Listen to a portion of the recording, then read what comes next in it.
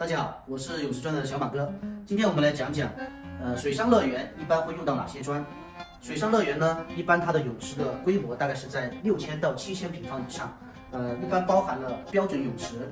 造浪池、漂流池，还有儿童泳池。标准泳池呢，一般使用二四零乘幺幺五的标准泳池砖，池底是以浅色的泳池砖搭配深色的泳道线为主。然后的话就是岸边是岸边走道防滑砖，还有扶手砖为主。池内面积大概是在一千六百平方，然后瓷砖的采购的成本大概是在十二万左右。造浪池一般使用规格会比较大一点的瓷砖，因为在造浪池里面，瓷砖它会承受比较大的水压，所以我们一般选用二四零乘幺幺五的国际标准瓷砖，厚度九毫米，可以填充足够多的填缝剂，这样瓷砖的话不容易脱落。留缝一公分，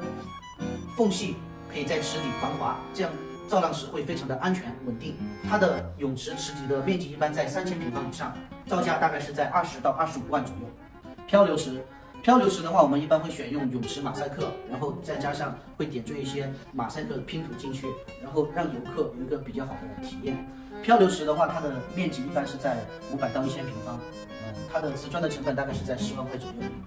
还有最后一个是儿童泳池，儿童泳池的话，我们一般是选用，